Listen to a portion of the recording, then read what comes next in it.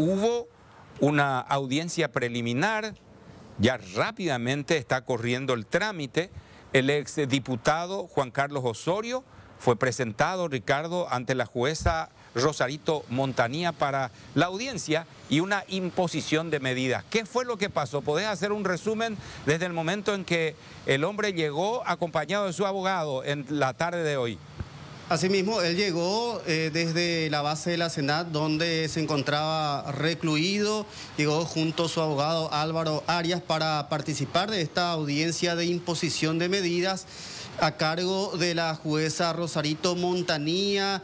Alrededor de las dos inició esto, posteriormente se tomó un cuarto intermedio y a las cinco de la tarde llega la resolución de la magistrada que determinó finalmente que el ex diputado colorado Juan Carlos Osorio deberá guardar reclusión en la Penitenciaría Nacional de Tacumbú o en su defecto en alguna otra penitenciaría que tenga espacio disponible para que pueda guardar reclusión. Para recordar, él está imputado por los hechos de tráfico internacional de droga, lavado de dinero y asociación criminal. Lo que dijo su abogado Álvaro Arias es que el día de ayer cuando acudieron ante el Ministerio Público no les fue facilitado toda la información que ellos requirieron. Es por eso que ellos solicitaron el día de hoy el arresto domiciliario del ex legislador, el cual fue rechazado por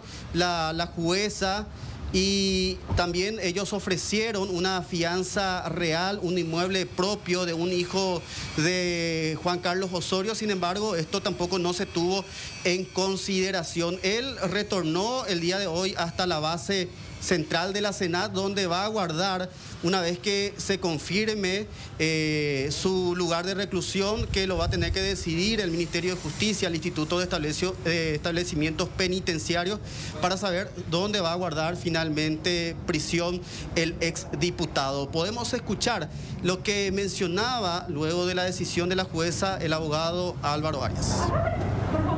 La jueza resolvió eh, no hacer lugar al pedido de arresto domiciliario que requirió la defensa y dispuso la prisión preventiva del señor Juan Carlos Osorio. ¿A dónde irá específico?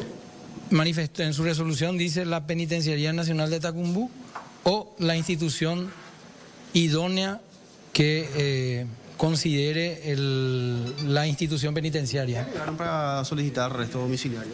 Y alegamos de que la presentación del requerimiento de imputación no reúne las condiciones mínimas. Señala de que se le atribuye al señor Osorio el hecho de, que tres personas abrieron una cuenta en la cooperativa San Cristóbal y que eso él eh, propició. Entonces, digo yo, si eso es eh, estar ligado al narcotráfico no reúne las condiciones establecidas en la ley, en la ley que administra este tema de, de, de antinarcóticos, ¿verdad?